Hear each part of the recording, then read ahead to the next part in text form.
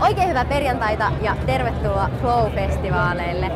Flow-festivaalit on iso osa Helsingin kaupunkikulttuuria ja monelle se on oikeasti koko kesän paras viikonloppu. Tämäkin Flow on ollut todella dramaattinen. Täällä oli eilen iso myrsky ja nytkin täällä alkaa pisaroimaan, mutta silti ihmiset pysyy iloisina, hymyilee, nauraa ja pitää hauskaa. Mä lähden nyt juttelemaan ihmisten kanssa siitä, miksi lähti Flowhun ja mikä tekee ne onnelliseksi näillä festivaaleilla. Tervetuloa mun kanssa Flowhun!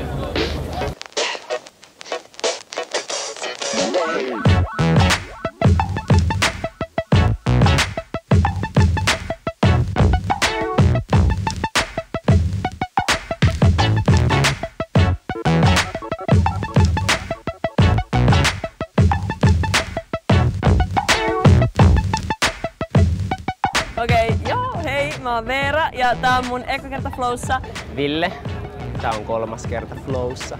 Joonas ja tää on varmaan viides tai kuudes kerta täällä. Mä, mä oon Jemina ja mä oon ensimmäistä kertaa Flowssa nytten.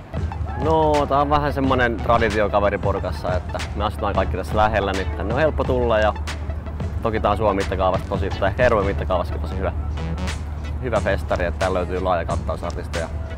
Tässä on tällainen omalainen atmosfääri. Tää on tosi fresh, tosi niin kuin ajan hermolla ja tietää mitä kaupunkifestivaalilta kaupungilaiset haluaa. Mikä tekee mut onnelliseksi? Öö, aika varmaan joku vapaus. Onnelliseksi tekee se, että mä oon mun hyvien ystävien kanssa pääsen olemaan oma itteni. Tai se, että mä saan paljon asioita aikaiseksi. Ja totta kai jos aurinko paistaa, niin miksi, miksi ei olisi silleen vähän iloisempi kuin normaalisti. Joo. Öö, meidän koira, mun tyttöystävä. No kyllä se on varmaan sit jotenkin silleen, että saa olla oma itsensä hyvässä porukassa ja ilmaista itseään vaikka nyt tanssin kautta. Opiskelupaikka, aika lailla moni asia. Hyvä elämä on silleen, että sä pääset vähän Sä pääset toteuttaa ittees ja tekee sellaisia asioita, mikä sua itse kiinnostaa. Ja totta kai sulla on pakko olla pari sellaista läheistä ihmistä. Ihan sama, onko ne poikaystävät tai joku perheenjäsen tai frendi, mutta sulla on pakko olla pari sellaista, kelle sä pystyt avautuu. Hyvää elämää. Ää, sellainen, että on paljon läheisiä ihmisiä ympärillä.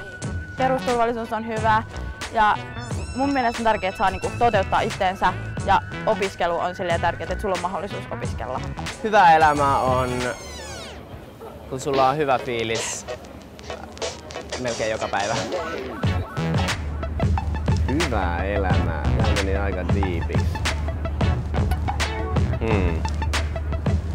Totuudenmukainen elämä. Silleen, että elää itse omien arvojensa mukaista elämää, mitä se nyt sitten tarkoittaakaan. Joo, kyllä, kyllä mä koen. Kyllä tää elämä on ihan jees. Ihan, ihan hyvä.